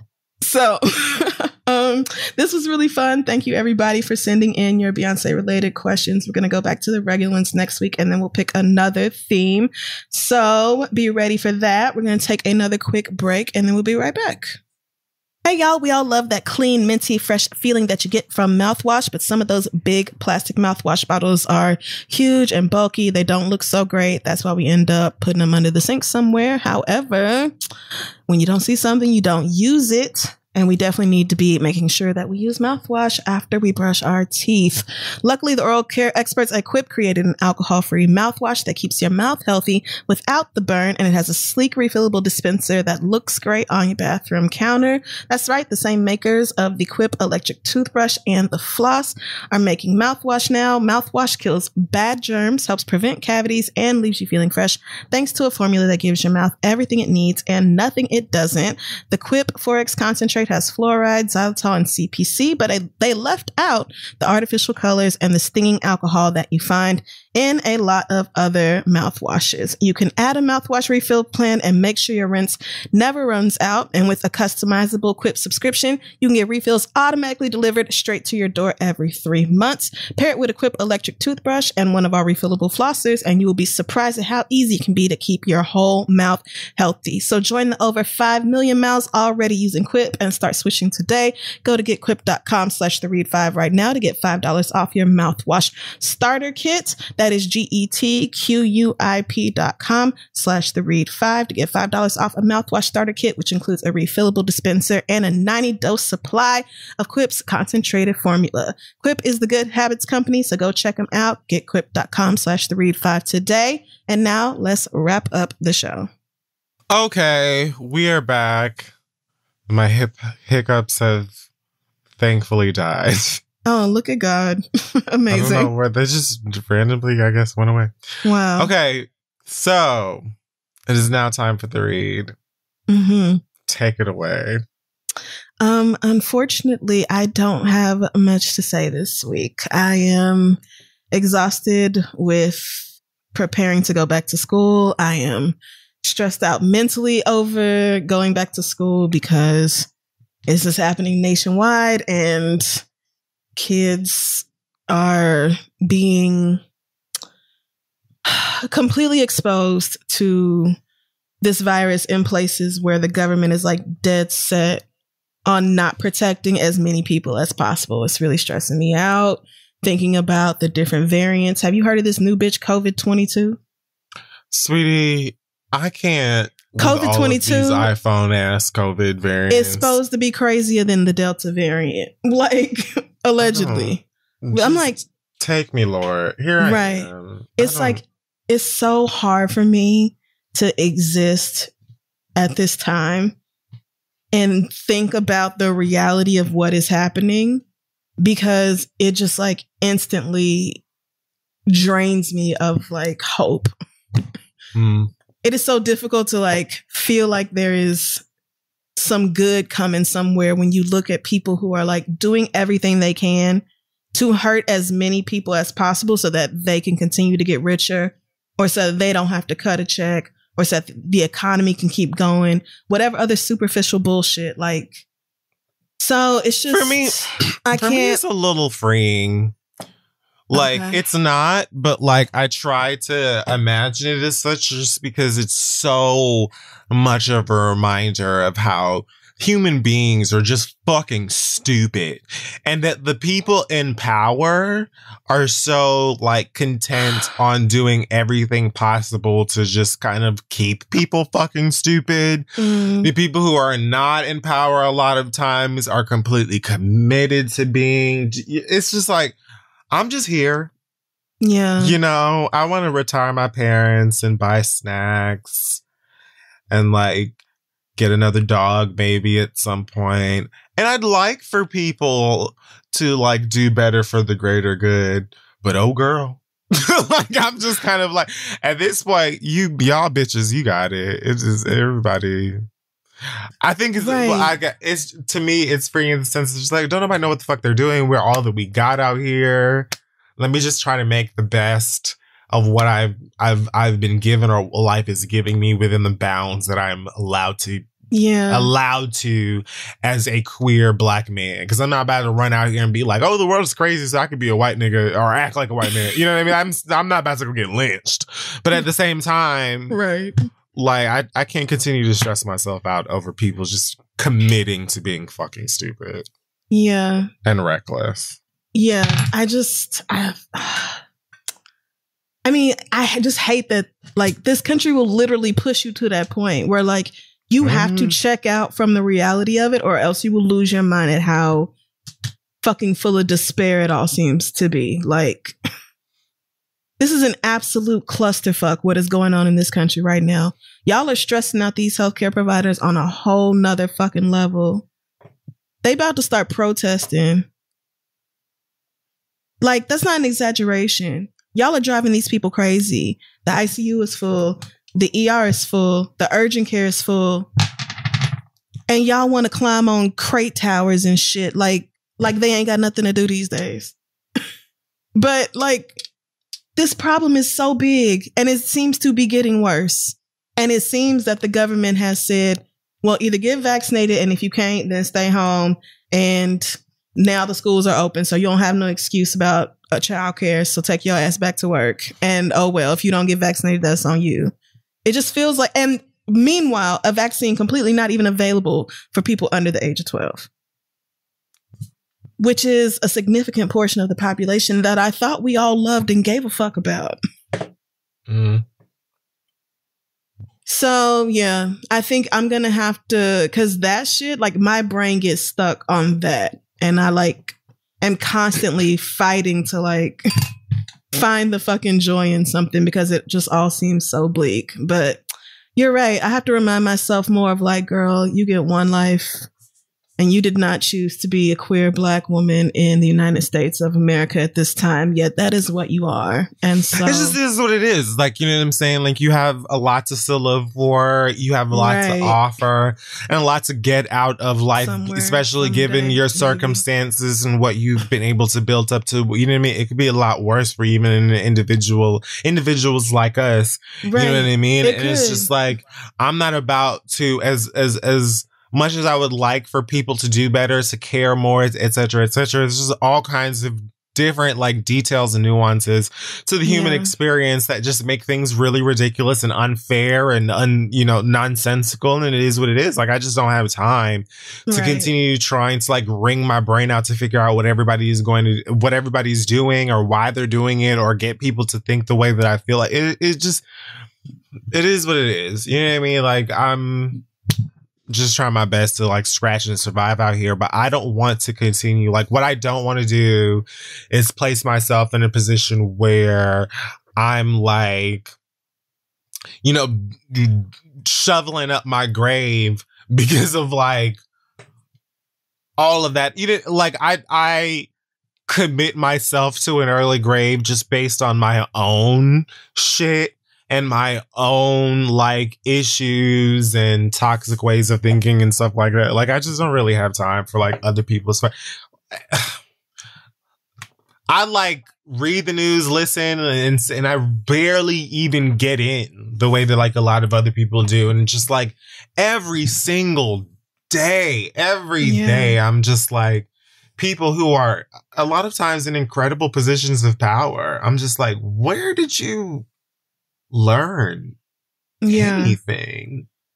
And then you have the people who are just regular motherfuckers like me who are like, I don't give a fuck about what you're talking about, and everybody can die, and you're not gonna do anything about it. Like, all right, like I don't know, you know what I mean? Like, Yeah, I don't. I don't even watch the news. I used to have like cable news on twenty four seven in my house, but I don't even watch the news like that. It's like the little bit of it I see, like uh, because I do follow some news sources, and it's like the little bit of news that I read is fucking depressing. I don't even like I don't turn on the news. All the news I get is either through Twitch or like notifications from Google or whatever on my phone. Yeah, the Apple News. Yeah, it's just it's like that stuff that I'd be reading. But I'm just like But it's all terrible. Like, and it's just like everything's bad and getting worse. you are all you got. Period. Period. Right. You all that you got. And like luckily for you, you're a smart bitch, You're an intelligent bitch, you're an entertaining bitch. You know what I mean? Like you have many things that are going for you. And many people who are listening to this can say the same things things for themselves. Unfortunately, many of us, specifically those of us who are of color, who are of the queer experience, etc., etc., we have a lot of stumbling blocks in our path either way that regardless of what we have to offer are going to be a problem. But I just like, I'm just like, you know what, at the end of the day, like, I'm just, I, I can't continue to like attach myself to the fuckery of the people surrounding me or just everyday shit that I'm seeing that the average American is going into because you have like levels to it. You have like the people that are in your contact info that mm-hmm. are doing little silly things that are like at the, like to the detriment of like everyone else. And then you have people who are like, down at the courthouse with their white asses saying that me and Tim and Tad are going to burn this bitch to the ground if you even say COVID again. Bitch, if you say mask, if you say vaccine, we are shooting you hoes. So it's like, like I have to like, I'm right. just like, you know what? Here I am. Here I am, Lord paying my taxes, like calling my mama. I'm trying to stay alive in a world where white people are like doing this at school board meetings. Like they talking about uh. we will we will chase you down and find you to niggas who are like, let's keep y'all's children alive. With their toddler on their hip. We will oh kill you bitches. I'm living in the down at the PTA meetings.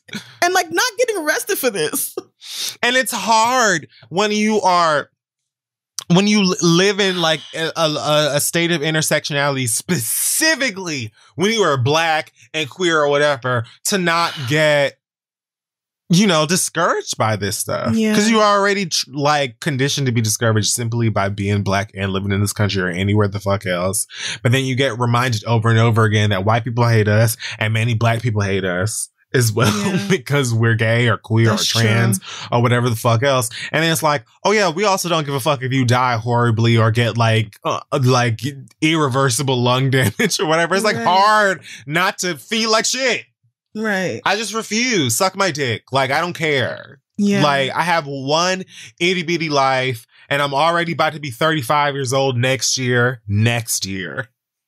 34 in a few weeks. But I'm already like you know, on my way, bitch, like y'all listen and working my ass off, like having all kinds of heart palpitations and having to talk to my therapist and doctors, all kinds of stuff, just me due to stress. Fuck, I'm gonna have fun, bitch. I don't give a fuck if COVID take me out or not. I'm gonna have a good time oh, before oh, I, I take my steps up to St. Peter. Bitch, y'all got me fucked up.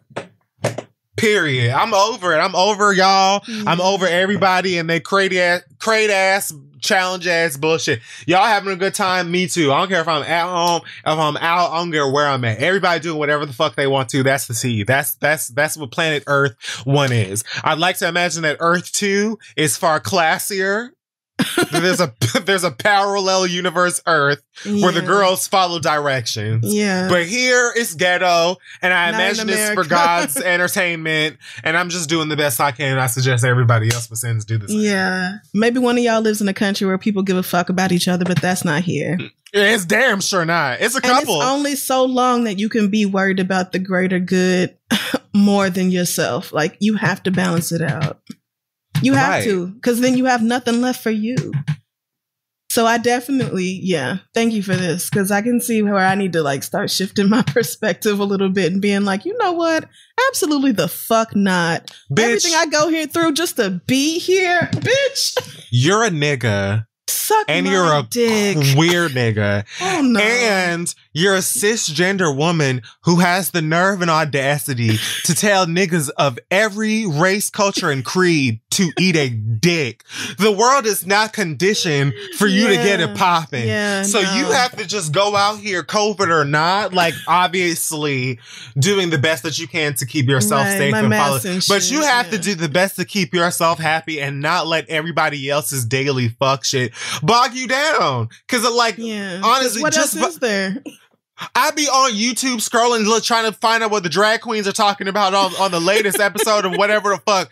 And I just scroll past like the latest in news from ABC or whatever the fuck they're talking about this, and the third. So I catch news, whether it's in preparation for this or by accident or because right. I'm genuinely looking for it. And it's like, people really don't give a fuck, but I can't allow that to just stunt my growth, happiness, or whatever the fuck, because we right. are already not promised much of it by virtue right. of being niggas and queer niggas at that.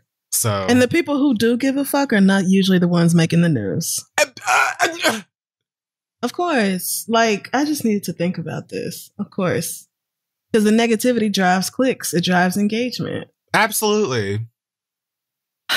okay. Thank you, friend. This was actually very useful. So. I, I, really appreciate this conversation. Thank you so much. You know, that was my read this week. Hope you enjoyed it. so for me this week, I want to say, first of all, OnlyFans. Wow. I tell you to eat a dick, but I guess that's illegal for you girls now. oh my God. It shouldn't be shocking to me. I feel like it's not shocking to a lot of people that OnlyFans now has decided to buckle down on their sexually explicit content um, and has now, like, they're saying, um, by October, they will no longer be allowing sexually explicit content on the platform. Mm. And it seems as though they are, um, they're attaching this to like hardcore, uh, adult content. And, you know, rumor has it that nudity and I guess some softcore stuff is still going to be permitted. But no people fucking? getting their their fuck on or right. any more like, you know, real kinky shit, they're not hearing it. Now, I'm just really Mm. annoyed at the audacity of you bitches at OnlyFans.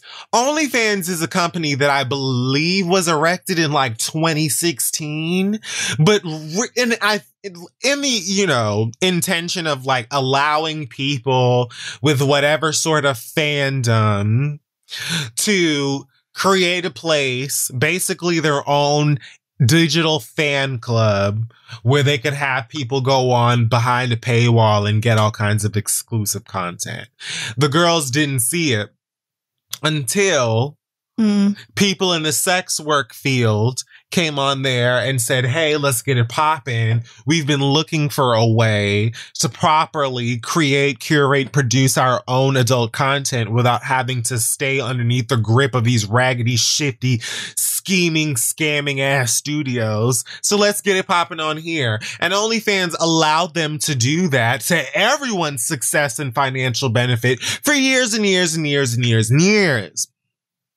Um, since this whole thing take took place, I've read that OnlyFans has paid out approximately five billion dollars to 1.5 like million users or creators or something like that. What?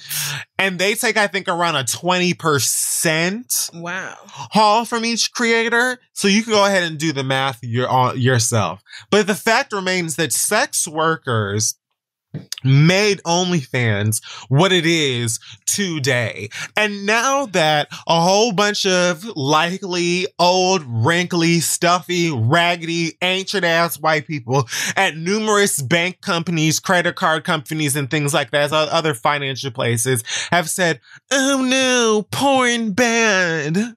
OnlyFans has told all of the sex workers, all of the adult creators on their platform that they have until October basically to beat feet.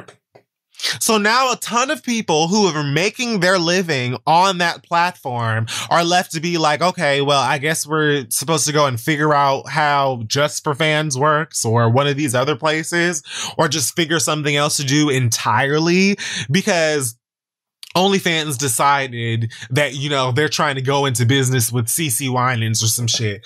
I'm lost because, like, we sat back and we watched Tumblr We've watched like numerous other platforms that have allowed sexually explicit content on their website that primarily is the reason that their websites or their platforms thrived, succeeded, excelled. We've watched them be like, oh, no more, and then die. So I don't really mm. understand what the purposes behind this, I have to assume that the creators, the big wigs, the execs over at OnlyFans have cashed in, their pockets are lined, they're set for life, and they don't give a fuck what happens with OnlyFans at this Ah. point. Mm. They don't give a fuck what happens at OnlyFans at this point because all of your favorite X-rated creators have made it so that these people don't have to worry about that website, a future website, or anything the fuck else in the future. So they can sell you on this idea that, oh, well, you know, it's about the, the, the banks and the companies are, are worried about going into business or it's harder to, you know, to, to do business with them when we have adult content. And why the fuck do you think that that is? Hmm. Why the fuck do you think that that is? These companies like MasterCard and Visa or whoever the fuck would like you to think that it's all about, you know, human trafficking, you know, child endangerment, rape, and things of that nature. Of course. Any form of pornography, adult entertainment, or whatever is going to have a small percentage that, you know, is like evil, insidious, and has these kinds of things. But like shutting the whole shit down altogether, compromising everybody's way of life is not a way to do anything about that. Like people are referencing mm-hmm. how like, oh, you know, Pornhub basically similarly wiped. Like I don't know how many people know this, but like Pornhub at this point is kind of like exclusive for studios and like actual create like you can't really there's not much amateur porn if any available um. on Pornhub at all anymore. And this was after like some credit card companies like MasterCard and stuff were launching alleged investigations on like, you know, child porn and stuff like that that was uh, available on Pornhub. So you shut down the whole ass shit rather than targeting. Listen, if it's one thing a bitch like me does is is I I watch pornography. like I know the girls. Right. And I've wondered why there aren't more processes, but even stuff just within like the user interface or the accessibility of the website to report stuff that seems sketchy, looks sketchy, feels a certain type of way. Y'all don't give a fuck about human trafficking. You don't give a fuck about child endangerment. You don't give a fuck about rape. What you actually give a fuck about is the fact that there are people specifically women, people of the queer and trans experience that are capitalizing off of these women using their sexuality. You hate the Mm. wi- the fact that these exact people, especially women, whether cis or trans, have autonomy autonomy over their bodies, their sexuality, what they're doing, and all of those things. You hate that, and even more than that, you hate the fact that these motherfuckers can cash out and go and buy a big lavish ass house Mm. by way of how fucking sexy they are. Meanwhile, you got to go down and talk to Mildred about whatever the fuck, you know, laws or, or bylaws or whatever the fuck you about to go and put into effect to ruin somebody else's goddamn life. And you hate yourself. Nobody wants to fuck you. Nobody finds you fucking attractive. And if anybody, if anybody is perusing these motherfucking OnlyFans pages, these Pornhub pages, if anybody is active in these people's work, it's you. I don't have any interest in, in in spending time explaining to you motherfuckers that sex work is work because you understand that. Mm. You motherfuckers know that shit. I don't give a fuck how many of these people are are are on here fucking sucking, doing whatever the fuck, pinching their nipples or whatever your kink is with ear to ear grins. That's what the fuck they're supposed to do. It's for your entertainment, you ungrateful bitch. It's so you can have a good time. It's so your stupid, unsexy, lonely dumbass can have a good fucking time and feel sexy and get your fucking rocks off, bitch. They're supposed to feel like they're ha- like because if there's anything that I can't stand in my adult entertainment, it's somebody that clearly is only trying to entertain me for a buck. Maybe that's somebody else's cake, but I want to at mm. least feel like you're having a good damn time. That's why they call you porn Yes. actors. That's why they call you adult actors because you are entertain. That's why they call you adult entertainers because you are at work, bitch Get off your motherfucking high horse, you ungrateful bastards. You be the first ones down at the motherfucking Pynk uh, perusing all of Un- Uncle Clifford's goddamn uh, uh, uh, ladies. And then be the same ones trying to enact all the goddamn laws so that they can't eat. Yep. Fuck y'all. And yes, I'm sure there are there are other platforms that people can go and then these same people can go and probably make money or whatever. But that's not the fucking point. OnlyFans started like a while prior to this doing little shady shit, trying to like, you know, govern what types of, you know, kinks and what types of content their adult uh, creators are putting. And now it's just like, oh, you can, you know, post your nudes, but, you know, don't nobody want to see penetration or whatever. And if you think that they're not coming for you girls who are like, oh, well, I don't do collabs. If you think that they're not coming for y'all bitches next, you crazy as fuck. It's ridiculous. And I'm sure a lot of the people who run like studios and have been running these adult studios that you actually should be worried about that truly don't give a fuck about their performers, whether it's their age, their safety, their health, any of these things, they may be the ones that you're putting back into power and prominence. The beauty of things like an OnlyFans were that the people who are actually putting their health, their body and whatever on the line have more of an option to curate the, their content themselves, choose who they film with, where they film, and all that other kind of shit. But you don't want to, like, you really just want to compromise people's health and safety and then say, oh, well, it's really about the, it's about the kids. You don't give a fuck about nobody goddamn kids. Shut the fuck up. All you care, care about is your money, your pockets, and all of these people that have been putting their health, putting their sex, putting their all of this stuff on the line for themselves, yes, but also lining your motherfucking pockets. Now that you satisfied, you're like, oh, well, the bank says this. Fuck y'all. Fuck OnlyFans. Y'all bitch is about to be dead in another couple of months anyway. And it is what it is. And I know you don't care because everybody who really is like behind the, the coins, y'all are satisfied. You solidified. It is what it is. Sex work is work. Stop trying to put like, play like these people are not working their asses off. Like I said, I don't give a fuck if they're smiling with nut on their face. I don't give a fuck if they're grinning and laughing and giggling when they got, you know, like they are That's working. Many of them are doing videos of people they don't even fucking like, don't really want, like trying to get your fucking ungrateful ass rocks off. Stop acting like they're not working. Get over yourself, bitch. Get over yourself. Mm. Um, and now I just want to say once again, Wow. Tucker Carlson. I don't even know what this bitch did. I didn't know about this until like the past week. But apparently, there's been like a right wing conspiracy that Ilhan Omar married her brother Um, yeah, I've heard that. Those so that she could get citizenship in America. Yeah, and- they've been saying that for a while. Tucker Carlson and some bitch named what is it, Miranda Devine, were on Fox News trying to once again legitimize this theory and citing some random Republican named Anton Lazaro, who admittedly stalked Ilhan Omar and used alleged DNA that he got from a cigarette that he scooped off of, I guess, her premises somewhere What? to try and prove that this woman married her biological brother to get Oh citizenship in America. Not only is that the dumbest goddamn bullshit that I've never heard, apparently this Anton Lazaro is was also arrested last week on multiple charges of underage sex trafficking.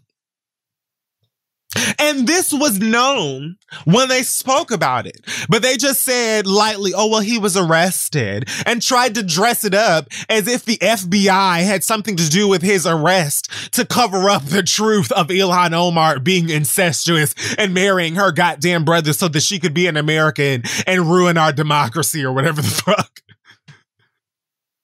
And of course, Tucker and everybody else at their fucking axe wound ass antics behind Fox Wound, f- behind Fox News got to act like, oh, well, you know, it's just, it's entertainment and it's a TV show and da da da da da and us other, other It's shit. Like, you know, all of the fucking dripping inbred hogs that watch your goddamn show take every piece of bullshit that y'all motherfuckers say and will take a bullet for it as if it is truer than true. This is Mhm. bullshit. You knew that it was bullshit and you wasted everybody's goddamn time and opportunity to come on on motherfucking air and continue to lie about this lady that ain't done nothing to nobody, mind her motherfucking business and say that she's married her motherfucking brother to be an American as if it's just ever so goddamn lit over here. And then your fucking source, your source was arrested for child trafficking, for sex trafficking kids.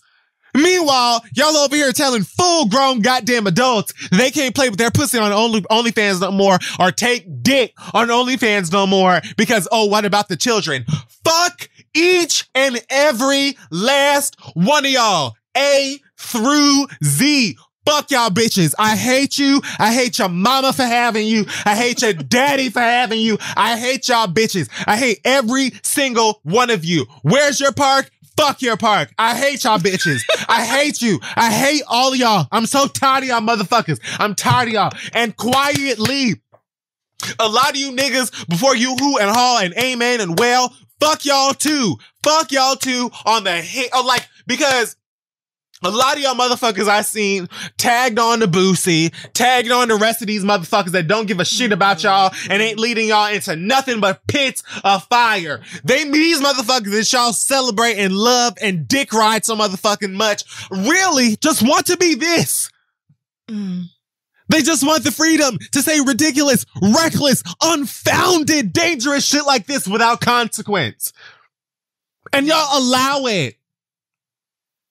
Y'all allow it. And they don't do anything for y'all or for your community or for your culture besides offer you a thousand dollars if you put your motherfucking pussy on Instagram. I hate y'all. Suck my scrotum. Good night. Okay. Well, And before we get out of here, I should have known. Elon Musk. Oh, I don't. Okay. All right. Elon Musk talking about some by 2022 or something, he gonna have Telsa bots. Actual humanoid Telsa mm-hmm. robots, tes- Tesla, te- whatever, actual robots walking about and doing laundry and shit. Elon, I have a couple of words to run by you. Terminator, iRobot, 2001 Space Odyssey, Westworld, Tron, The Matrix, Age of Ultron, Deus Ex Machina. Bitch, like, Mm. How many more sci fi, artificial intelligence, fictional stories do we need to have for you motherfuckers to understand that this is a bad idea? If ever there was not a time to introduce artificial intelligence to what's going on in the human world, it is now. Cause I know you program the right robot to see what's going on on planet Earth. They're wiping us out and I can't blame them. I can't blame them. What am I supposed to tell the Terminator when he come to my motherfucking door and tell me it's my time to die? Look at our circumstances. Fuck y'all. I hate you bitches. I hate y'all. Good night. I'm finished. I'm officially done. Okay. Whew. All right. Um, that will wrap up this week's episode of The Read. Check us out on social media at This Is The Read. Our website is thisistheread.com. Um, I'm trying to think if we have any news or announcements. I don't think so. Friend, do you have anything else before we go? We have a comedy album in the works that's Oh, um, yeah. in we the do. works. And you aren't ready. None of you are ready. You're not ready. Okay. And on that note, we will see y'all next week.